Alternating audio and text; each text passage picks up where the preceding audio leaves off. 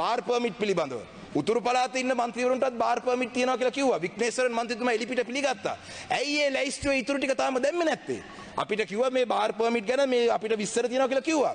ඒව ගැන පරීක්ෂණ පවත්වන්න රටේ ජනතාව දැනගන්න ඕනේ බාර් පර්මිට් ගත්ත මන්ත්‍රීවරු කවුද කියලා.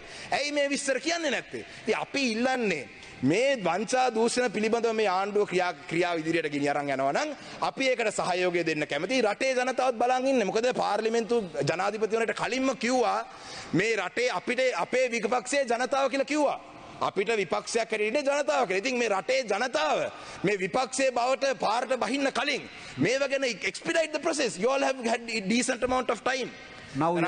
අවසන්. කරනවා කතානායකතුමා ජනාධිපතිවරණ ඉවර වෙලා දැන් මාස කීපයක් ගිහිල්ලා තියෙන්නේ. ඉතින් ඊළඟ මාසයේ ඇතුළත හරි අපි දැන් අලුත් කියලා කියන්න සම හරි අලුත් තමයි. අපි සහයෝගය දෙනවා. අපි එනකොට අපි ඒ ප්‍රගතශීලී විදිහට වැඩ වෙනවා නම් අපෙත් සහයෝගය දෙනවා. ජන රටේ ජනතාවගේ සහයෝගයත් ලම්බ වෙයි. ඒ වගේම තමයි අවසන් කරනවා කතානායකතුමනි electricity prices පිළිබඳවත් යම් යම් ප්‍රශ්න දැන් මතුවලා තියෙනවා. ඉතින් ඒව ගැනත් ඉදිරි අනාගතේ අපිට ලැබෙන වෙලාවේ අපි කතා කරමු. ඒක නිසා මේ ආණ්ඩුවටත් සුබ පතමින් අපේ සහයෝගය හොඳ දේවල් වලට හැම අවස්ථාවෙම තියෙනවා කියන එකත් ප්‍රකාශ කරමින් මගේ කතාව අවසන් කරනවා. වෙලාව ලබා දුන්න කතානායකතුමාටත් මගේ ස්තුති මම ස්තුති කරනවා. බොහොම ස්තුතියි. ගරු